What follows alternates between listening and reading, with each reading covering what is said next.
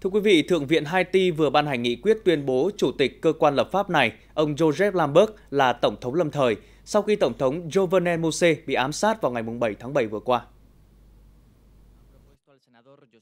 Thượng viện Haiti hiện chỉ còn một phần ba số lượng thành viên cho biết ông Joseph Lambert sẽ tuyên thệ tại Quốc hội và nhậm chức Tổng thống lâm thời, sau đó thành lập chính phủ mới.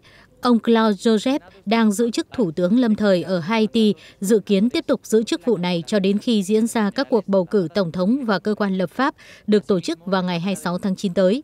Trong khi đó, một số chính đảng ở Haiti đã ký một biên bản ghi nhớ cho rằng ông Ariel Henry, người được cố tổng thống Mose bổ nhiệm làm thủ tướng hai ngày trước vụ ám sát, nên đứng đầu chính phủ đoàn kết dân tộc. Sau khi xảy ra vụ ám sát Tổng thống Mose, chính phủ Haiti ngày 9 tháng 7 đã đề nghị Liên Hợp Quốc và Mỹ gửi binh sĩ giúp quốc gia này bảo vệ an ninh, đặc biệt là các cơ sở hạ tầng quan trọng. Đức lần đầu tiên ban bố tình trạng thảm họa về mạng sau khi các máy chủ của huyện Anhalt Bitterfin bị tin tặc tấn công, khiến cho toàn bộ hệ thống quản lý hành chính của huyện bị phong tỏa, mọi dịch vụ xã hội cho cư dân địa phương bị đình trệ. Đáng nói là số lượng các vụ tấn công mạng nghiêm trọng đã liên tiếp xảy ra ở Đức trong những tháng qua. Hoạt động của chính quyền tỉnh Anhalt-Bitterfeld của Đức phải ngừng vận hành trong hai tuần vì hệ thống máy chủ bị tin tặc tấn công. Một lượng tệp dữ liệu không được xác định đã bị mã hóa. Tất cả các hệ thống quan trọng đã được ngắt kết nối khỏi mạng để ngăn chặn dò dỉ dữ liệu. Hiện cả huyện với dân số khoảng 157.000 người không thể thực hiện chi trả các khoản phúc lợi xã hội và phụ cấp cho người dân. Giới chuyên gia về bảo mật cho rằng hệ thống cơ sở hạ tầng công nghệ thông tin ở các địa phương của Đức dường như ít được bảo vệ nhất trong trường hợp bị tấn công mạng, dù các hệ thống này liên kết với rất nhiều dữ liệu công dân. Mặc dù Đức có trung tâm phòng vệ mạng quốc gia, song chủ yếu theo dõi và ngăn chặn các vụ tấn công nhằm vào hệ thống trọng yếu của liên bang. Trong vài tháng qua, các cuộc tấn công của các nhóm tội phạm mạng gia tăng mạnh khi chúng nhằm vào các công ty và tổ chức công ở Đức. Tuần trước, một cuộc tấn công mạng của nhóm tống tiền đã ảnh hưởng tới hàng trăm công ty. Nhiệt độ thay đổi bất thường liên tục do tình trạng biến đổi khí hậu gia tăng trên toàn cầu là nguyên nhân gây ra hơn 5 triệu ca tử vong trên toàn cầu mỗi năm.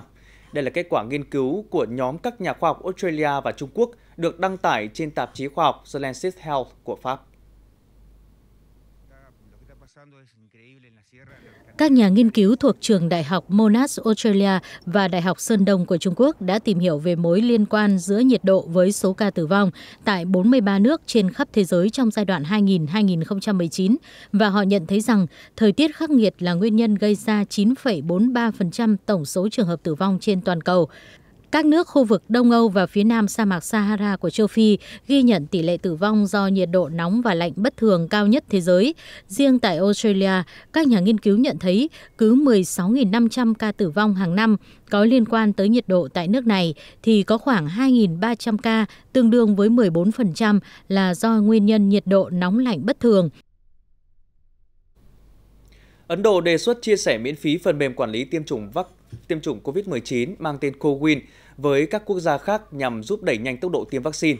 Theo chính phủ Ấn Độ thì hơn 50 quốc gia đã thể hiện sự quan tâm tới CoWIN. Nền tảng kỹ thuật số CoWIN đang được sử dụng ở Ấn Độ để giúp mọi người đăng ký tiêm vaccine ngừa COVID-19, đặt chỗ và tải về chứng nhận tiêm chủng. CoWIN là viết tắt của COVID Vaccine Intelligence Work, được giới thiệu lần đầu vào tháng 1 năm 2021. Người dùng đăng ký trên nền tảng CoWIN bằng số điện thoại của họ. Khi đăng ký, họ sẽ nhận được mã OTP nhập và hoàn tất việc tìm kiếm, đăng ký chỗ tiêm. Thủ tướng Ấn Độ Narendra Modi cho biết ứng dụng CoWIN sẽ trở thành nền tảng mã nguồn mở và Ấn Độ sẽ chia sẻ phần mềm này với tất cả các quốc gia trên thế giới đang tìm cách tăng cường hệ thống kỹ thuật số trong cuộc chiến chống COVID-19. Tại riêng Đông Nam Á trong 24 giờ qua, nhiều nước đã ghi nhận số ca nhiễm mới cao chưa từng có ở cả trường hợp nhập cảnh và trong cộng đồng. Ở Indonesia, mặc dù nước này áp dụng nhiều biện pháp mạnh tay, song số ca nhiễm mới vẫn tăng nhanh chóng gần 40.000 ca mỗi ngày. Tính đến thời điểm hiện tại, khoảng 2,5 triệu người Indonesia đã mắc COVID-19, trong đó có 65.000 trường hợp tử vong. Quốc gia vạn đảo đang lên kế hoạch tiêm liều thứ ba vaccine ngừa COVID-19 cho nhân viên y tế còn tại Malaysia, hôm qua tiếp tục ghi nhận số ca mắc mới COVID-19 trong ngày cao nhất từ trước đến nay, với hơn 9.350 ca, hơn 2.300 nhân viên y tế mắc COVID-19 sau khi được tiêm chủng, nhưng tất cả đều không xuất hiện triệu chứng nghiêm trọng.